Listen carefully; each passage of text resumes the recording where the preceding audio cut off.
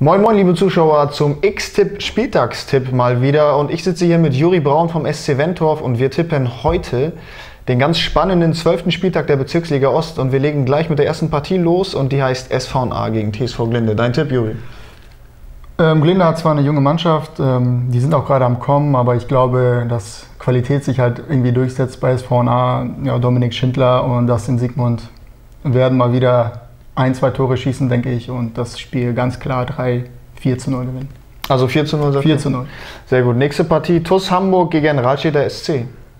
Ja, zwei Mannschaften, die irgendwie spielerisch, würde ich sagen, gar nicht so weit voneinander entfernt sind. Ähm, Moritz Mandel bei Rahlstedt trifft, glaube ich, alles, außer gegen uns hat er nicht getroffen. Ja, und auf der anderen Seite Marek Smager, Freistoßspezialist mit links, kann, glaube ich, aus allen Lagen treffen, wenn er will. Ich tippe mal ein 2-2. 2-2, das klingt gut. Also zwei Tore Smaga, zwei Tore Mandel, das klingt gut. Ja. Nächste Partie, TuS Aumühle Wohltorf gegen ETSV Hamburg. Ja, Aumühle, ganz viele natürlich äh, oder einige Ex-Wentorfer dabei, deswegen drücke ich denen auch irgendwie die Daumen. Ich denke mal, Burak äh, Simsek wird da ein, zwei Tore schießen. 2-0 Aumühle. Und Eugen Dell, Neuzugang, macht kein Tor? Wenn er Muss- denn spielen darf. Wenn er spielen darf und muss man natürlich schauen, ob er dann ähm, wirklich äh, genauso körperlich in der Verfassung ist, wie er es bei SV Nettelburg à la Möhe war. Ja, ich drücke ihm die Daumen, soll er gerne ein Tor, Tor machen, aber ich glaube trotzdem 2-0. Ich habe gehört, er sollte auch zu euch beim SC Wentorf, aber wollte er dann nicht anscheinend.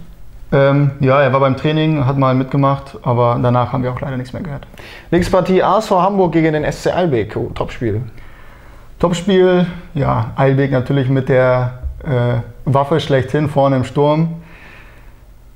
Nadolny, ja, er wird wieder sein Tor schießen, so wie er es immer macht. Ich denke mal, wieder ein Unentschieden, vielleicht 1-1. Das wäre gerecht. Nächste Partie, SV Börnsen gegen Voran U2, gegen die ihr letzte Woche verloren habt. Ja, wir haben leider verloren. Ähm, Uhr hat ein gutes Spiel gemacht, haben dann auch zu Recht gewonnen wohl im Endeffekt. Und ich glaube, die werden gegen Börnsen wieder zuschlagen. Und ja, vielleicht ein knappes 1-0 für Uhr. Das wäre eine Überraschung. Kommen wir zur nächsten Partie, SCVM 2 gegen Sternschanze 2. Ja, SCVM mit ähm, einem guten Freund von mir, Tim Stegmann. Liebe Grüße auch hier. Ja, ähm, Tim Stegmann mit Dassen in Dassendorf habe ich mit ihm zusammengespielt. Waren immer packende Duelle mit ihm. Ähm, ich glaube, er führt seine Truppe zum Sieg.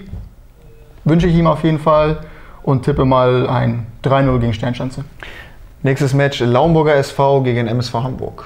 Ja, Laumburg, die Mannschaft, die mich irgendwie sehr überrascht hat im negativen Sinne. Ich dachte eigentlich, die spielen oben mit. Und jetzt brauchen die jeden Punkt. Eigentlich eine sympathische Truppe, deswegen gönne ich denen ähm, diesmal einen Heimsieg und ja, auch ein knappes 1-0 für Laumburg. Wäre auch eine Überraschung. Und kommen wir jetzt zur ganz entscheidenden Partie, FSV Geesthacht gegen den SC Wentorf. Ja, ähm, ich hoffe, wir gewinnen das Spiel irgendwie. Wir haben momentan den einen oder anderen Verletzten. Und, äh, aber wir haben eine super zweite Herren, die uns da aushilft. Da sind einige Leute dabei, die uns auf jeden Fall ja, irgendwie weiterbringen werden. Und ich hoffe 2-1, Ilga Tiras, zweimal. Und dann reicht das auch. Das wünschen wir euch. Vielen Dank.